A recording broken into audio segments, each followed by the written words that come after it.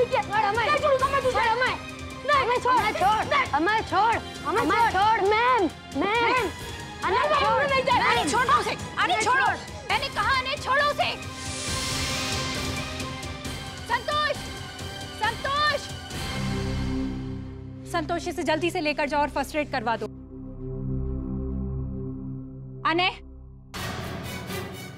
अने क्यों मारा तुमने रोहन को? ऐसी क्या बात हुई थी? जो तुम्हें इतना गुस्सा आ गया? जवाब दो अने मैं तुमसे कुछ पूछ रही हूँ। तो तुम ऐसे जवाब नहीं दोगे। मेरे साथ चलो। टीचर आप अपनी क्लास कंटिन्यू करो। मैं जरा इन दोनों से बात करता हूँ। ओके फादर अनय तुम एक ब्रिलियंट स्टूडेंट हो। आज तक तुम्हारी एक भी कंप्लेंट हमारे पास नहीं आई। क्यों किया तुमने ऐसा?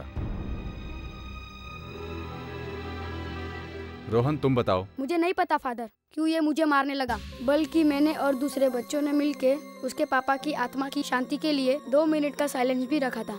जैसे ही मैंने इसके पापा के बारे में पूछा कि तेरे पापा कैसे मर गए थे, बस ये मुझे मारने लगा। अनय, जो कुछ भी तुमने किया, वो बहुत गलत किया। सबसे पहले रोहन से माफ़ी मांगो। अनय, माफ़ी मांगो रोहन से।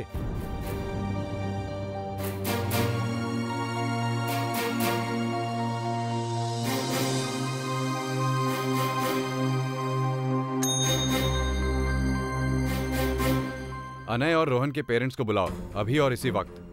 जी सर।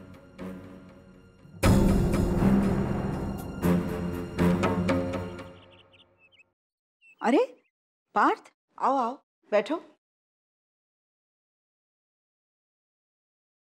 बोलो कैसे आना हुआ? दरअसल शेखर जी के बाद ऑफ़िस के बहुत सारे प्रोजेक्ट अधूरे रह गए हैं और कुछ प्रोजेक्ट्स पर अर्जेंट एक्शन लेना ज़रूरी है। अगर आप अपराजिता मैम थोड़ा सा वक्त निकाल कर एक बार ऑफ़िस में आ जाती तो ऑफ़िस का काम समझ जाता। देखिए पार्थ दीदी अभी बहुत मुश्किल से अपने आप को संभाल पाई हैं। और इस वक्त ऑफ़िस का काम संभालना बहुत मुश्किल है उनके लिए। देखिए मैं आपकी बात समझ सकता हूँ लेकिन अपराजिता मैम का ऑफ़िस में आना बहुत ज़रूरी है। पार्थ? नमस्ते मैम।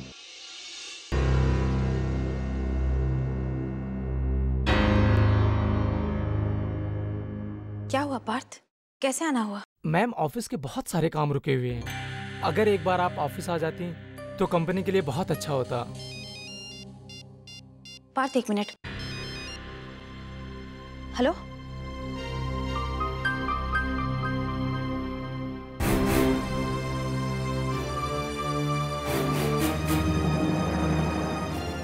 मैं बस थोड़ी देर में स्कूल पहुँचती हूँ।